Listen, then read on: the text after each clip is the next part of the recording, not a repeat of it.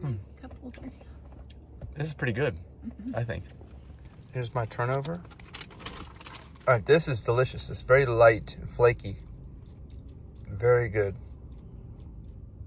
All right, now this is, I can't remember the name, some Japanese root vegetable like a sweet potato, and it's a cookie. So I wanted to try something different, and this is definitely it. It matches your pillow and your suitcase, Denise. Look, we're all coordinating. Mm -hmm.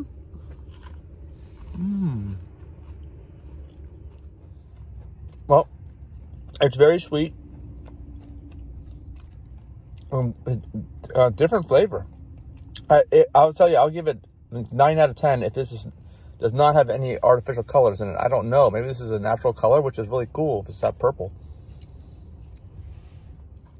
And one of the things that makes this cookie that they didn't tell us about is chocolate chips in there. I think there's white chocolate chips also.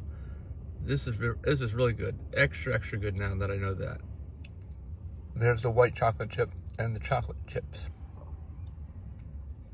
This is the only way you're going to see a sugar cookie around Denise with a big bite taken out of it. Mmm, that's a good sugar cookie. I like the toppings. Just sprinkles.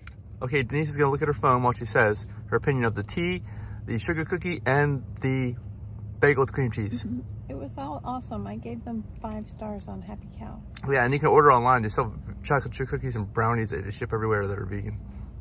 And my last treat is this chocolate covered or chipped strawberry cookie. Has a nice taste to it, and similar to what I said about the other purple cookie I had, this gets more stars from me if it's done without food coloring and if it's natural, and I just don't know. They just opened last year. Green great. Yeah.